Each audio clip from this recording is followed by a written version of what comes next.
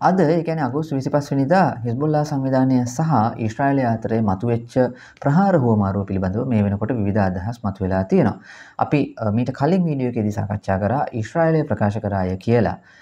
ලෙබනනේ හිස්බොල්ලා ඉලක්ක ගණනාවකට ඒගොල්ලන් ප්‍රියම්ටව ස්ට්‍රයික එක ගැන තමන්ට පහර දෙන්නට පෙර ප්‍රහාරයක් එල්ල කර. ඒකෙන් රොකට් සහ රොකට් ලෝංචස් දහස් කරනක් සමහර විට විනාශ කරු බව IDF එක ගැන ඉශ්‍රායල ආරක්ෂක හමුදා ප්‍රකාශ කරලා තිබුණ. නමුත් හෙස්බොල්ලා සංවිධානයේ ප්‍රධානී හසන් අස්රල්ලා තරය ප්‍රතික්ෂේප කරනවා ප්‍රියම්ටව් ස්ට්‍රයික එකක් එල්ල කරපු බවට. ඔහු කියනවා එහෙම එකක් සිද්ධ වුණේ නැහැ කියලා. ඒවගේ මොහු සඳහන් කරනවා ඔවුන් රොකට් සහ ඩ්‍රෝන්ස් තුන්සේ විස්සක් ඉශ්‍රයිලය දිහාවට එල්ල කරාය කියලා. ඔවුන්ගේ ප්‍රධාන ඉලක්කය වුණේ ගලිලොට් හමුදා මූලස්ථානය බව තමයි ඔහු සඳහන් කරන්නේ. ගලිලොට් හමුදා මූලස්ථානය තමයි මොසාඩ් එකේ මූලස්ථානය සහ හමුදාවේ යුද හමුදාවේ ඉශ්‍රාල යුද හමුදාවේ යුනිට් අටදස් දෙසීය කියන සංඥා බුද්ධි සේවයේ මූලස්ථානය පිහිටා තිබෙන්නේ. එතකොට හිස්බොල්ල සංවිධානය කියන්නේ එකොලන් රොකට් එල්ල කරේ අයන්ඩෝම් සිිස්ටම් එක ඒ ඒ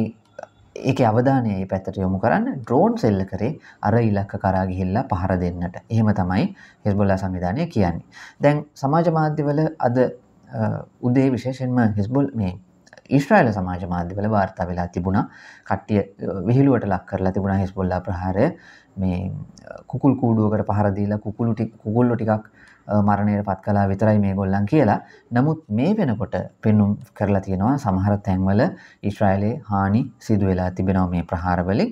විශේෂෙන්ම කෙලින්ම මේ ප්‍රහාරයකින් නොවනත් අයන්ඩෝම් මිසයිලයක් කැබලි විසි වෙලා එක සොල්දාදුවෙක් මරණයට පත් වෙලා තිබෙනවා කියලා වාර්තා වෙනවා. එකන්නේ ඉශ්‍රයිල නාවික යාත්‍රාවක හිටපු නාවික හමුදා සොල්දාදුවෙක් තමයි මෙහම මරණයට පත් වෙලා තින තවත් දෙදෙනෙක් තුවාල ලබලා තිබෙනවා. මේ අතරවාරයේදී මේ ගැටුම මීට වඩා බරපතල ගැටුමක් බවට පත්වේද කියන සාකච්ඡාව තිබුණ. කෙසේ වෙතත් මේ දෙගොල්ලොම ඊශ්‍රයිලය සහ හිස්බොල්ල සංවිධානය කියන දෙගුල්ලම මේ වෙලාවේ ප්‍රකාශ කරලා තියෙනවලු අතරමැදියන්ට ඔවුන්ට මේ වෙලාව මේක ලොකු ගැටුම බවට පත් කරගන්නට අවශ්‍යතාවයක් නැහැ කියලා. ඒකට හේතු තියෙනවා මේ දෙගොල්ලන්ටම අපි හේතු මීට කලින් වතාවක සාකච්ඡා කරලා තියෙනවා වීඩියෝ එකකින්. ඔයගොල්ලන්ට ඒ වීඩියෝ එක මම ඩිස්ක්‍රිප්ෂන් එකට එකතු කරන්නම් ඔයාලට බලන්න පුළුවන්.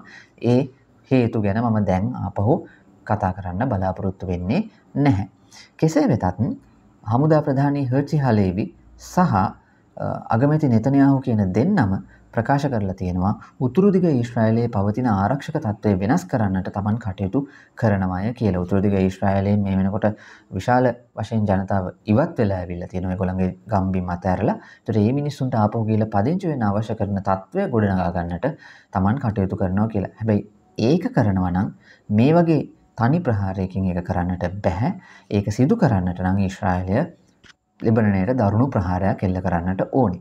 මේ මේක කරන්න පුළුවන් බැරිදි කියන එකත් වෙනම ප්‍රශ්නයක් අපි ඒකත් මීට කලින් සාකච්ඡා කරලා තියෙනවා.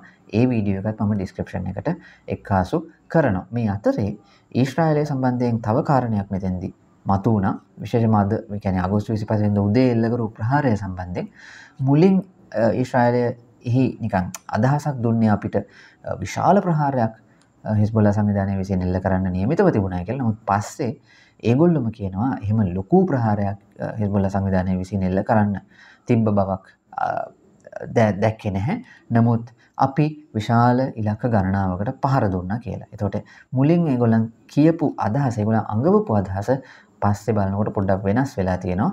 හිස්බොල්ලා සංවිධානය නම් ප්‍රකාශ කරන්නේ රොකට් සහ ඩ්‍රෝන 320ක් තමයි Taman එල්ල කරේ කියලා. මේ අතර වාරයේදී ඊළඟ ස්ටෙප් එක මෙතනින් එහාට සමහරට ලොකු ප්‍රහාරයක් එල්ල වෙයිද නැද්ද?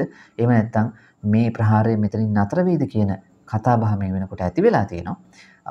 විවිධ පාර්ශව උත්සා කරන මහිතන මේක ලොකු ගැටුමක් බවට පත් නොවී මෙතනින් මේක නවත්වන්න.